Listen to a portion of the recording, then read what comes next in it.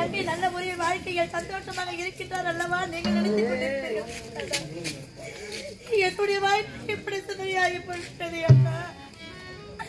உங்கள் முகத்தை நான் எப்படி பார்க்க போகிறேன் அண்ணா? என் கணவர் சாத்தி அரண்மனையில் சந்தோஷமாக உல்லாசமாக வாழ்வாள் அல்லவா? நினைத்துக் கொண்டிருப்பார் என்னுடைய கணவர். நான் எல்லாம் மனபடி நிலைமை என்ன ஆகுமோ தெரியவில்லை எனக்கு இப்படி நான் நடந்து விட்டது என்று என் கணவருக்கு தெரிந்தால் அவருடைய மனது என்ன நினைக்குமோ தெரியவில்லை ஆண்டவா. உனக்கு விளக்க திருமணம் கோலாகலமாக நடக்க வேண்டும் என்று மனக்கோட்டை கட்டி வைத்திருந்தேன் சின்ன சிறு வயதிலே எப்படி தாய் தந்தை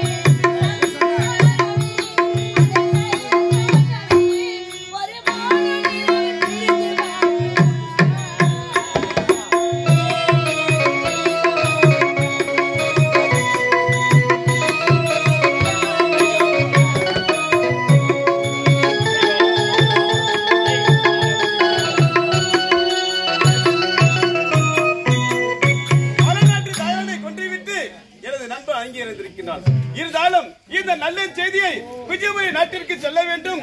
மன்னரை சந்திக்க வேண்டும் என்று நினைத்தால் ஏதோ ஒரு பெண் அழுது கொண்டு செல்கின்றார் அது யாராக இருக்கும்? பின்தொடர்ந்தே பார்க்க வேண்டும்.